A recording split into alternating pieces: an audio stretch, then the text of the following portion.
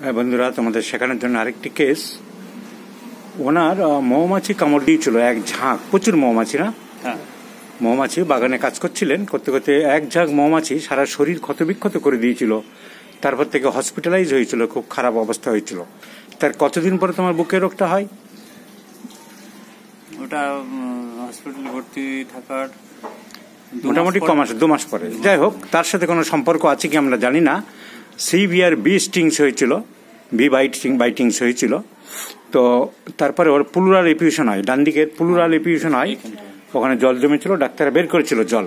না বের করেনি। জল বের করেনি। মানে অ্যান্টি টিউবারকুলার ট্রিটমেন্ট করেছিল অ্যান্টি পুলুরাল এপুশন তোমরা জানো এই কাইন্ড অফ টিউবারকুলোসিস তো পুলুরাল এপুশনের ওরা ট্রিটমেন্ট করেছিল এবং they have completed their course কিন্তু ওরা শেষ করার পরেও ওরা একটা প্রবলেম রয়ে যাচ্ছে। এখন প্রবলেমটা কি থাকছে? হ্যাঁ প্রবলেমটা এইখান থেকে পুরো ব্যথা আসছে। এতটাই ব্যথা আসছে মানে চাপ লাগলে ভীষণ ব্যথা হচ্ছে। আর ডান দিকে চেপে শুলে ব্যথা বাড়ে না কমে? এই মানে ডান দিকেও ব্যথা হয় আর সবচেয়ে বেশি হয় খালি পেটে। পেট খালি হলে এই ব্যথাটা হয়। আর তো pain in the right lateral chest wall aggravates in the empty stomach. Following pleural effusion which was treated by ATD anti-tubercular drugs. শীত বেশি না গরম বেশি? শীত বেশি। শীতটা বেশি। চট করে সর্দি কাশি লাগে? হ্যাঁ হ্যাঁ।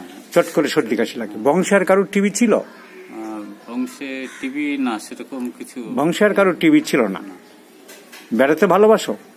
হ্যাঁ বেড়াতে কুকুর টুকুর দেখলে ভয় লাগে? কুকুর ভয়ে খুব একটা লাগে না কিন্তু সাপের ভয় লাগে সাপের ভয়টা বেশি লাগে। কুকুরের ভয় অত কিছু লাগে না।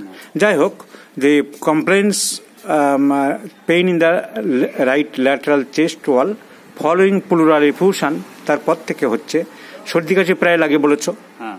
এবং সর্দি কাশি প্রায় লাগে তো আনচিলি patient basis of these symptoms I have prescribed basilinum 0 by 1 and 0 by 2 let's see the result.